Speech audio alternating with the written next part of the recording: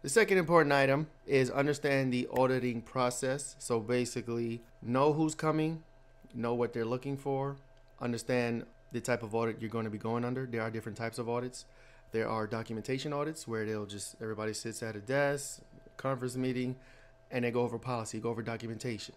There are demonstrations where they want to they want you to show them something on a server, log into something, check some settings, check some reg keys, whatever the keys have you.